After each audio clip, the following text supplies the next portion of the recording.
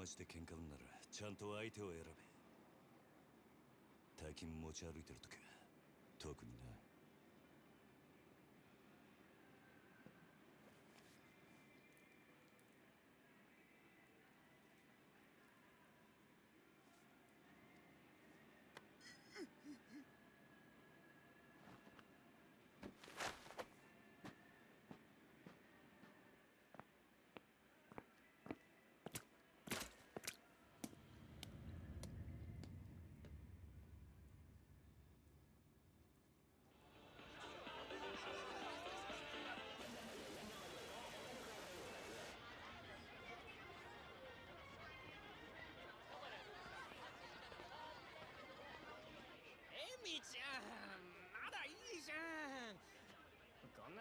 時間さすびら切ったってタクシー捕まんないんだから。やだもう。いいから宅代出してよ。あじゃあさプラザのスイートでも取るよ。だから俺と朝まで。ねね？なんだてめえ。言ってんだよおいちょっと待てよこら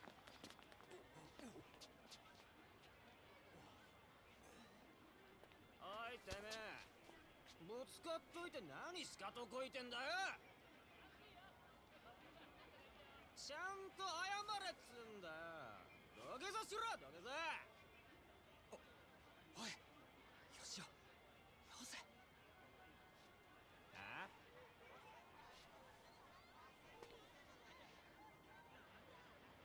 あいやその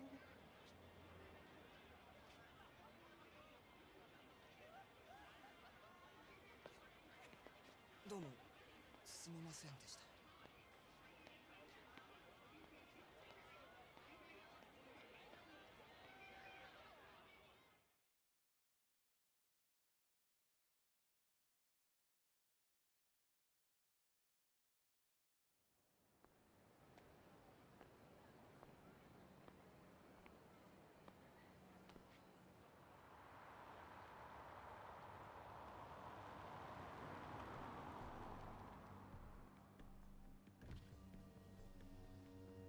よ。頼んでおいた仕事。どう？終わりました。ちょっと封筒が。このままでいいっすか？そんなこと気にしないでいい。むき出しだろうが金は金だからね。堂島組さんは仕事早くて助かるよ。はいこれ。約束の1割。ご苦労さんでこれは俺からの気持ちね。いやそれは。鳥藩が常識のこのご時世安い取り分でやってもらってんだ。普通なら本職の人にこんな安い額の取り立て頼めないからね。でも。同年代のガキどもが万札ちらつかせてタクシー乗る時代に本職の君が金もないんじゃ様になんねえだろ。まこれは俺との初仕事を終えたご祝儀みたいなもんだ。は取っときありがとうございます。しかしバカに金貸しちまうと後が面倒でしょうがねえな。30万ポッチ捨てんのは簡単だが回収しとかねえと商売としてのけじめがつかねえ。なあ。ええ。まあ俺も長いことこの町で金貸しやってるからよくわかる。今の世の中金の本当の価値が分かってるやつなんてほとんどいやしない。その点学のない君の方が高学歴の若造よりよっぽど分かってる気がするんだけど。そうじゃない？俺には分かりません。それじゃこれで。なあうちに来ねえか？兄ちゃん君の腕っぷしならヤクザやるよりもっと簡単にもっと多くの金が稼げる。いい飯腹いっぱい食っていい女を好きなだけ抱ける。それだけじゃない。金さえあれば不幸な人間を幸せにすることすらできる。ヤクザは下積みが長え手っ取り早くのし上がるにはうちに来て稼ぐってのもいい選択だと思うんだが。3年前にその言葉を聞いてればそうしてたかもしれません。けど一度極道になったもんは時間を巻き戻せない。それが答えか。ヤクザには誰かを幸せにすることなんてできないんすかね。さあな。俺はヤクザになったことねえからわからねえ。ま気が変わったらいつでも連絡してくれ。じゃ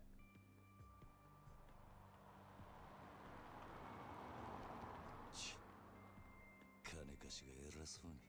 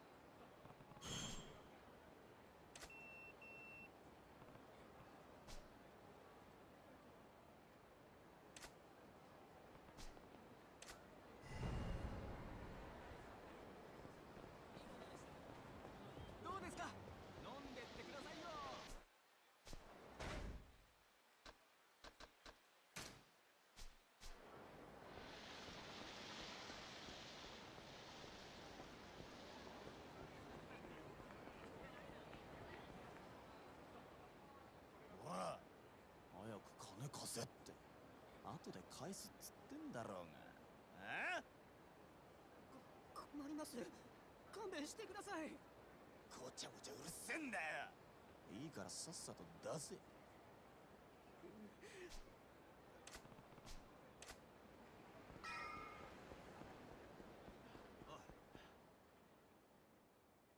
なんだよ。おいヤクザじゃねえのか。バカ。ヤクザったって年も大しておお前ら。えここらはうちの組の島なんでな。カムロ町を歩き慣れている連中なら。なんだと？ヤクザが偉そうに説教垂れてんじゃねえぞ！ほら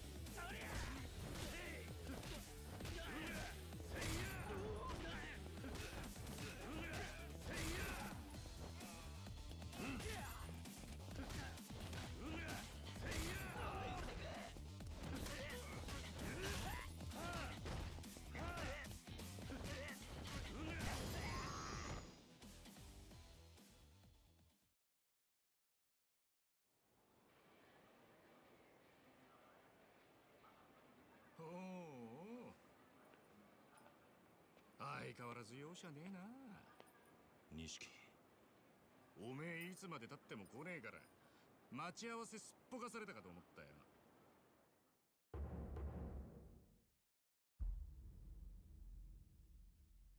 逆だ。おめえがなかなか来ねえからこうやって時間潰してたんじゃねえか。暇つぶしに喧嘩って。おとなしくヘルスにでも行けってのガキじゃあるめえし。興味ね相変わらず硬いね。まあいいや。とりあえず飲みに行こうぜ。久々にオールで付き合えよ。な？ああ。あのあありがとうございました。は？いやえっとここの度はどうも。お日柄もよく錦。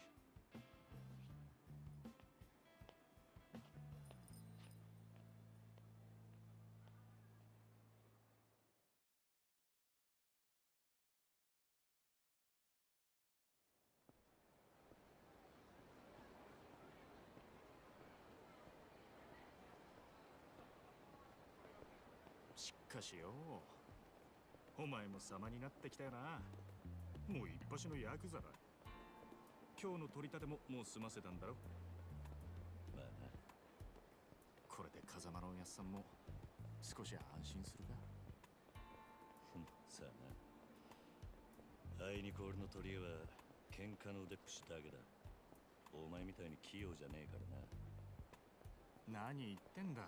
こんなバカみてえな時代だぜ。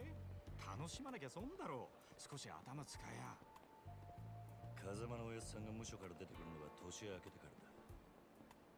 それまでに俺も少しは器用になっとくさ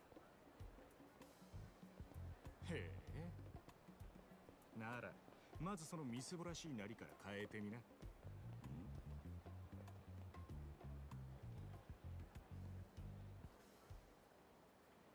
お前もたまには50万のスーツでも着てみろよ。そうすりゃ世の中の見え方もちった変わる。俺は服なんかどうでもいい。風間のおやっさんだっていつも地味な服着てんだろ。お前なあの人は組の若頭。堂島組のナンバー2だぞ。あのレベルまで行きゃそれでも通用するがな。極道商売にある程度見栄が必要なんだよ。お前が最近車買ったのもその見栄のためか。このこじゃれたライターも俺んだ。そろそろ返せよ見栄張りてんならケチケチすんな。お前も本当は分かってんだろ？人は車のエンブレムと着ている服のブランドそしてこの堂島組の大門を見て素直に言うことを聞く。ヤクザは見栄張ってなんぼだぜ。そんなもんかそんなもんさ。仇の癖してアコギな商売するやつに借りた金で遊びまくるバカこの町の連中に人の内面なんて見抜けやしね。え奴らにとっちゃ外見が全てちわかったもういい。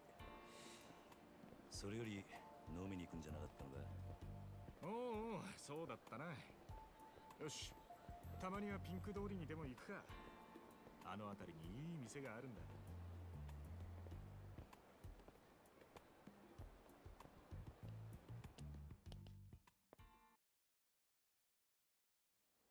行くぞ。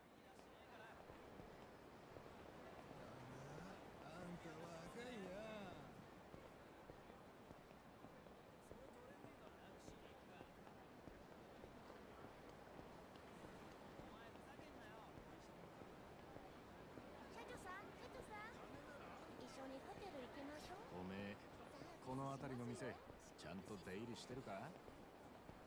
当たり外れも含めて何でもし知っとかねえとな。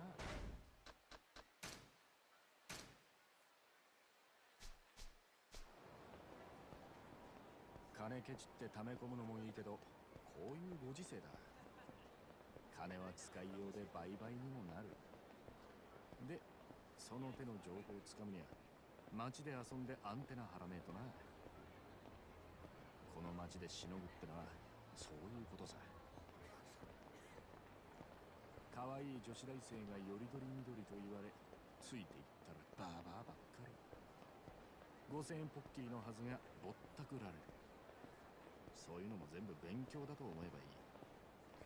つうかそう思わねえとやってられねえだろう。なんだよ今のは物の例えであって別に俺が実際に体験したってわけじゃ。まあとにかく今日は俺のおごりだ。おめえもたまには楽しめ。いいな。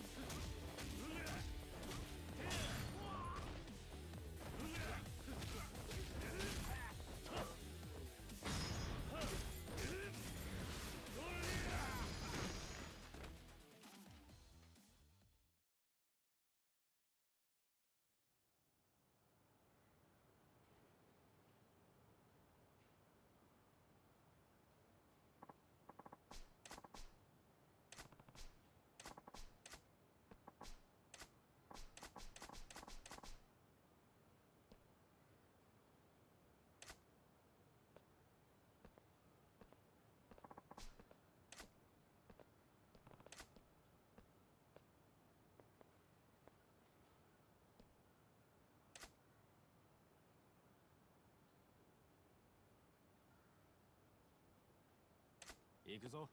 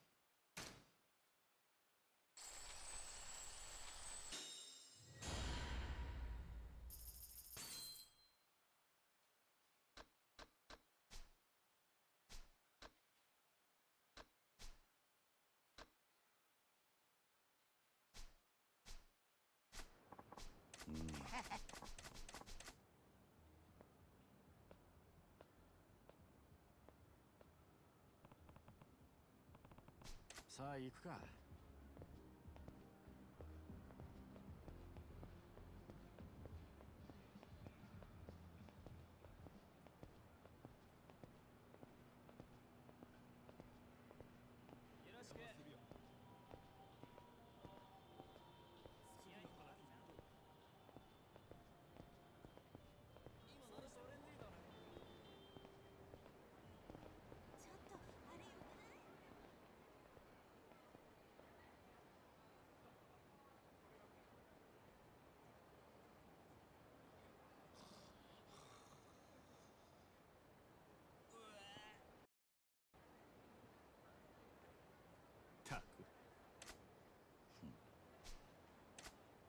そいつらが酒やら女やら欲し飲んだ？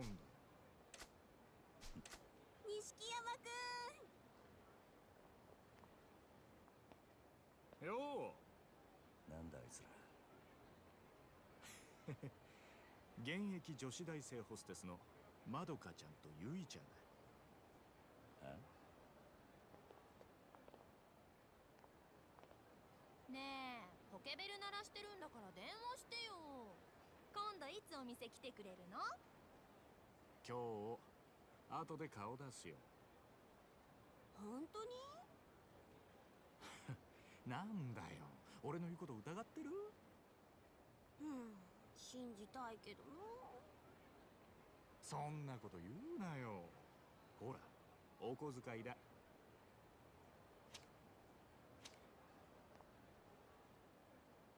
た信じてるよ女ってのは器用なもんだね。ありがとう。じゃあまた後でね。待ってるよ錦山くん。いつの間にか大した顔じゃねえか錦。お前さ俺があの女たちにまんまと小遣いせびられたと思ったろ。けどそうじゃねえ。女とつながっとくことが大事なんだ。ん？いいか組の上にいる兄貴たちは基本的に女にモテない。あの人たちは見るからにヤクザでございますって格好してるからな。それがなんだ？だから兄貴たちと飲む時いろんな女連れてくとそれだけで小遣いくれるし俺の組での覚えもめでたくなる。どうせ極道やるならどんな手使ってものし上がらなきゃ意味がねえ。違うかなるほどそうかもしんねえな。さあ店はここだ。今夜はとことん付き合ってもらうからな。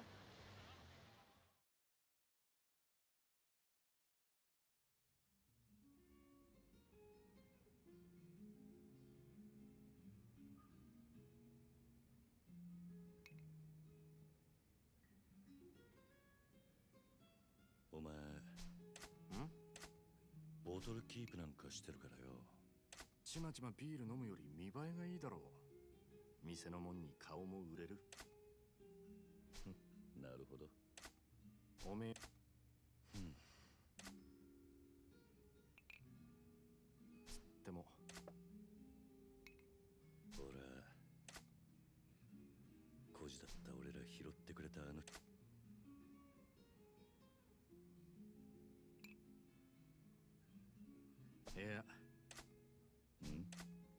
めえただおめえは風間のおやっさん。おやっさんなんで俺らのことを？よ。ま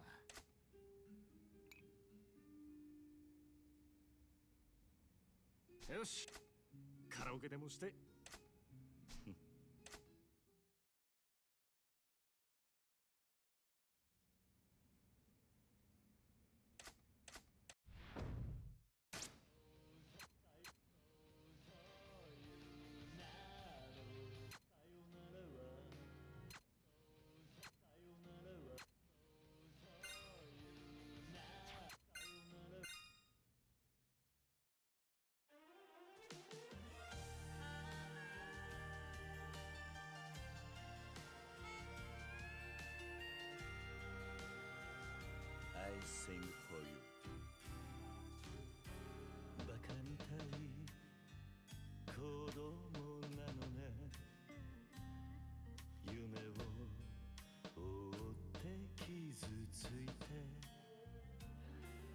嘘や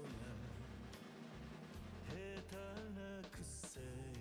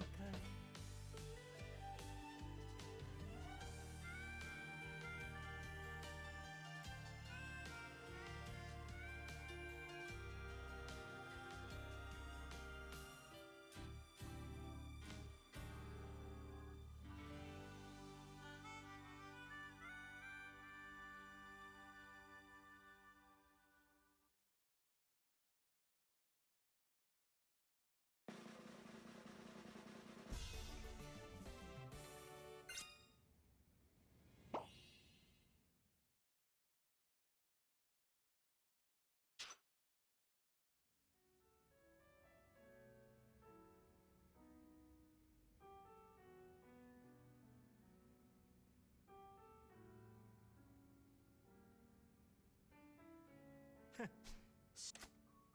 カそれはお前がハメ嘘つけ。よせよ。そん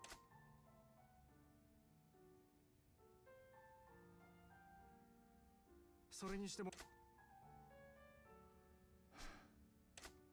まあいいじゃねえか。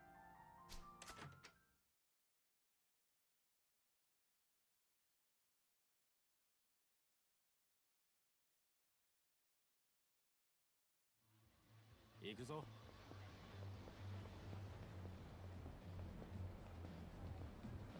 前から思ってたけどよおめえいい声してるよな。曲のチョイスは渋いけど。悪かったな。流行りの曲はよく知らねえんだ。なら少しは勉強しろって。流行りに遅れた男はモテないからな。そうか。つっても男のアイドルなんかは俺も今勉強中だ知ったかぶりしてなんとかやり過ごしてるそれ周りにバレてんじゃねえのか？かもな。やっぱアイドルっつったら女だ。最近はマジで可愛い子が多いぞ。おおそうなんだ。ああ帰ったらチェックしてみろよ。案外ハマって俺より詳しくなるかもな。さあな。そのうち俺ら二人8匹でコンサート行ってたりしてお互い想像したくねえ姿だ。だな。な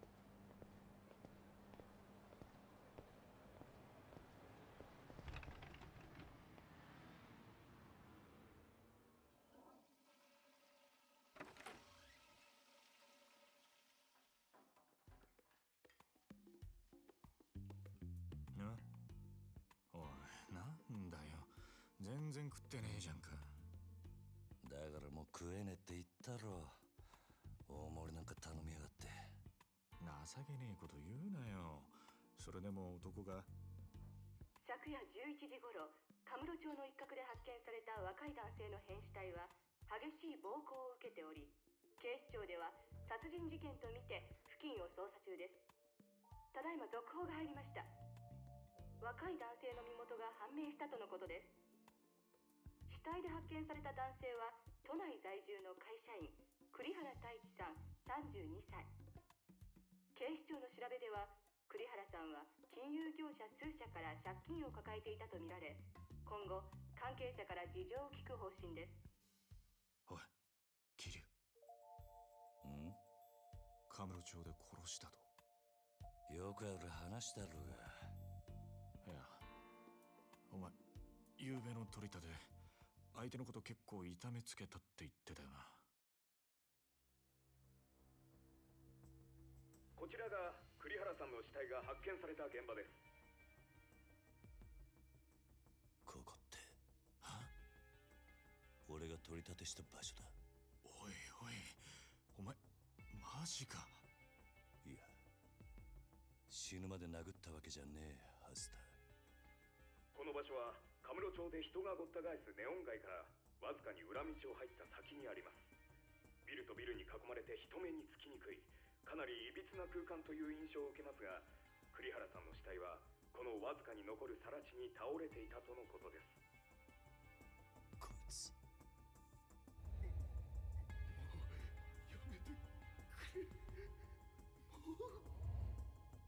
俺が取り立てたやつだ。おい。お前本当に間違いねえのか？はあ。何やってんだようなんてよ。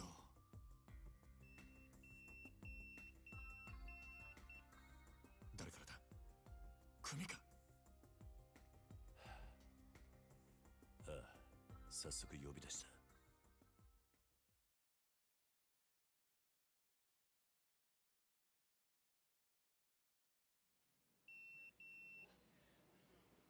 事務所行ってやっぱりまあいや何この不思どういう？お前だからだがそうはいかねえ。多分親さんの後釜に座堂島組若頭ほくそ。そのなんだそれ。親さんの仕切ってた鳥羽。周到に場所変えありゃ組の事情に詳しい者が殺にちでそれが誰かって言や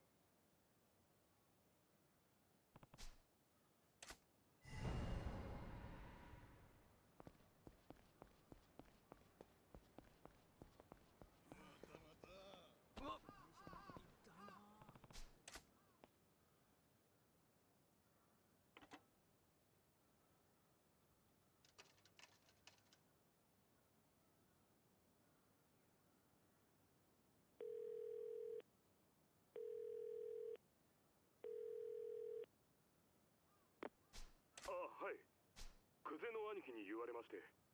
桐生さん実。そうか。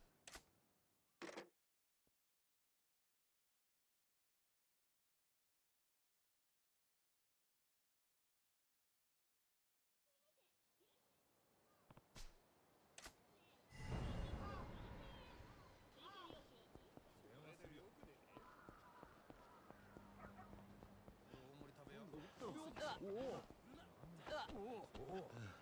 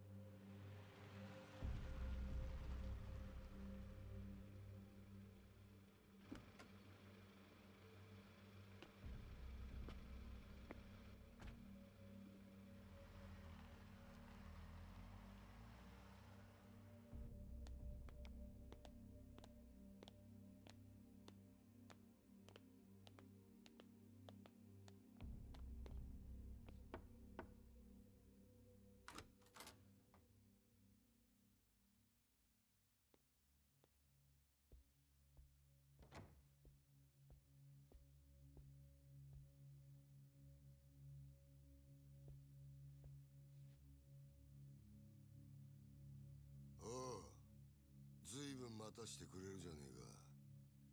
偉くなったもんだな。おうキリ。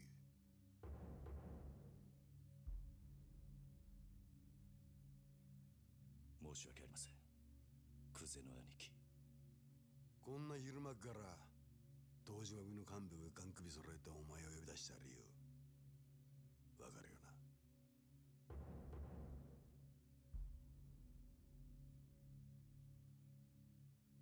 町で見つかった死体の件ですが。やっぱりてめえか。こりゃゴルどころじゃなくなっちまったな。なあクゼの兄貴。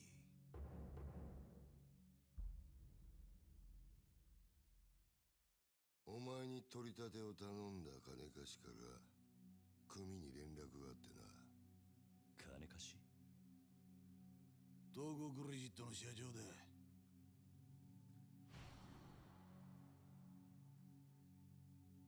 の社長に頼まれて仇ぶっ殺したのはおめえだろもっともあいつは自分のせいじゃねえって早速逃げ打ってやがったがな。たかが30万程度の小競りの取り立てで本性が下手打つとも思っていなかっただろうからな。はあちんけな金貸しとはいえ同情するぜ。まあそんなことはどうでもいい。理由がどうあれ仇をやっちまったっつうことはどう幕を引くかだが。ちょっと待ってください。俺は。ジタバタすんじゃねえ安心しろ。仇ったって相手も借金まみれのクズだ臭い飯78年食えばことは収まる。俺に掴まれた。なあ殺しの方はそれでお上と手打ちするとして。それより問題はあの場所からどう人目をそらすかだ。がそうだな。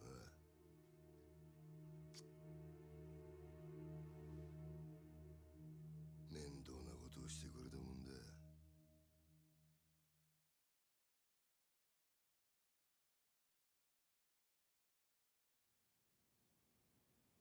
あの場所ってどういう意味っすか？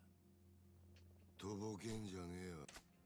おいゲリ。ュおめえよまさか風間の頭の。聞かれたことだけに答え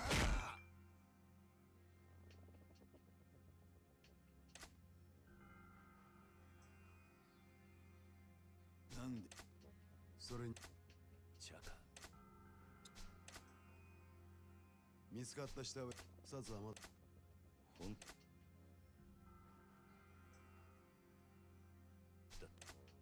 もしはい。と嘘におう金か。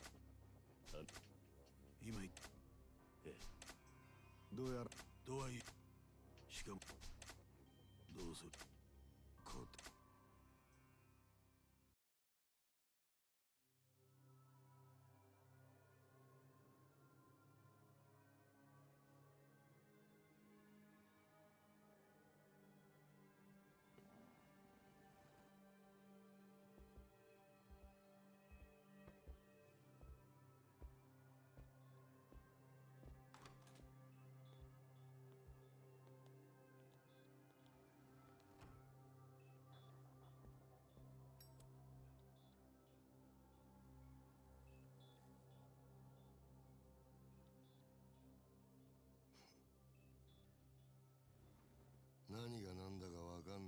面だな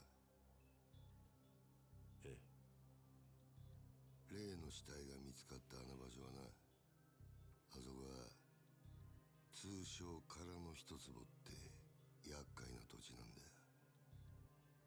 お前ら下っ端は知らねえかもしれねえけどな堂島組長から俺ら頭補佐の3人に命令が出てたんだどんな手使ってもその空の一坪を手に入れろとな空の一坪針の穴ほどの隙間もない繁華街に偶然できた一坪の空き地だ。それを親父が欲しがってる。親が欲しがるものを差し出す。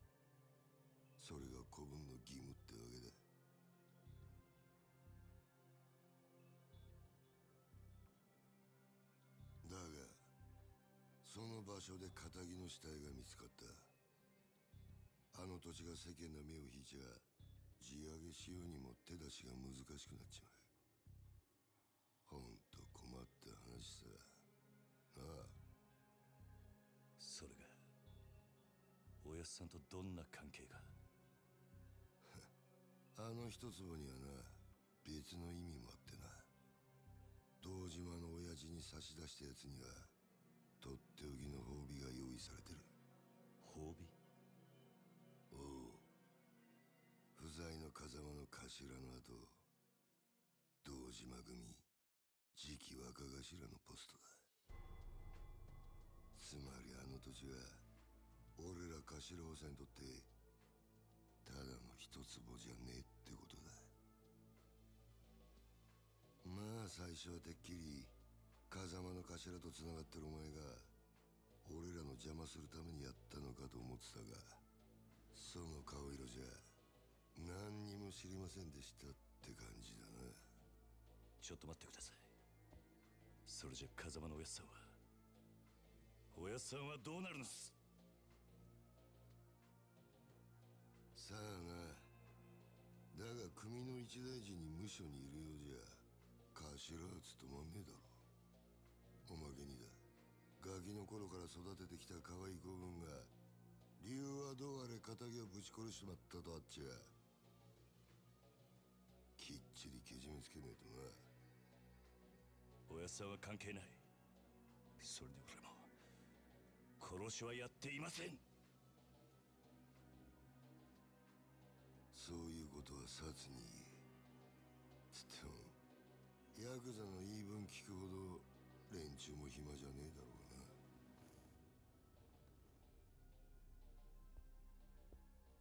殺には今日中に実施しろよ。それと縁故詰めとけやお前も極道なら組長に挨拶しとかねえと筋が通らねえぞ。